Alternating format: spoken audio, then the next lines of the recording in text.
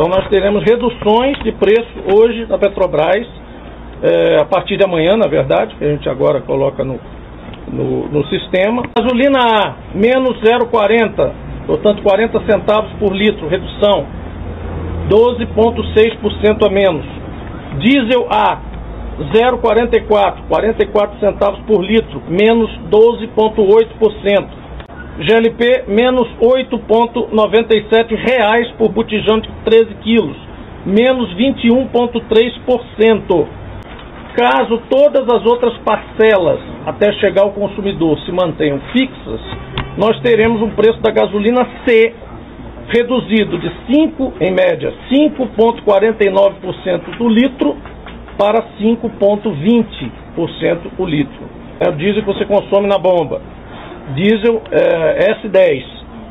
5,57 era o preço, caindo para 5,18 o litro.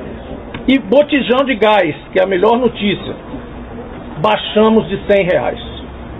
Baixamos de 100 reais.